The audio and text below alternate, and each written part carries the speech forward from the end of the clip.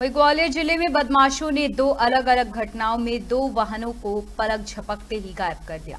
बता दें कि पहली घटना दौलतगंज स्थित पुलिस चौकी के सामने घटी, जहाँ सैनिटरी का सामान लेने आई एक ई रिक्शा चालक की गाड़ी को अज्ञात बदमाश चुरा ले गए। इस घटना में बदमाश मास्टर की से काफ़ी देर तक ई रिक्शा को स्टार्ट करने की कोशिश करता रहा।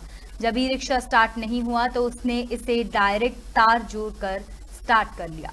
वहीं दूसरी घटना झांसी रोड थाने के सामने पारस विहार कॉलोनी की है, जहाँ घर के बाहर खड़ी एक बाइक को मुँह पर साफा लपेटे आई युवक ने पलक झपकते ही गायब कर लिया।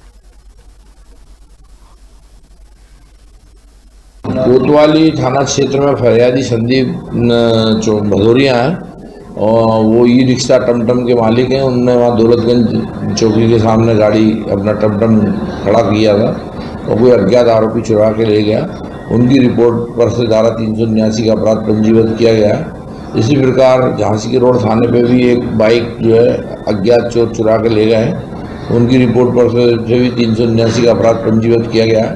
घटना के आस टेक्निकल साक्ष्य के आधार पर घटनास्थल के आसपास के सीसीटीवी कैमरे को देखा गया और सीसीटीवी कैमरे के फुटेज एकत्रित कर उस पर कार्रवाई की जा रही। जल्दी जल्दी जो वाहन चोरों की गैंग गिरफ़्तार कर उनसे वाहन बरामद किए जाए।